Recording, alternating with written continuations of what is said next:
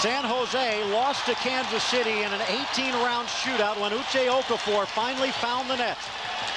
Prevent it from going to a 12th round, all Dave Salzwedel has to do is beat his counterpart, Tony Meola, and he does!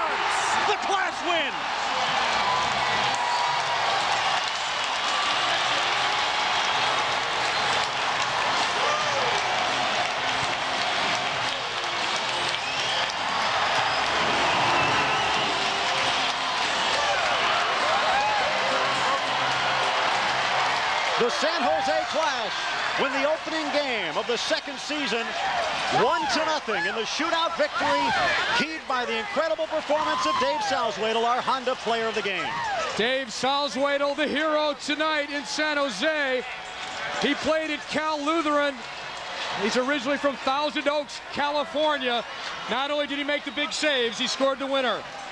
The former All-American looking pretty good to Laurie Calloway right now.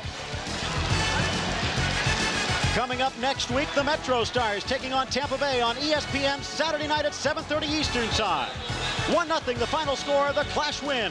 This has been a presentation of ESPN, the worldwide leader in sports.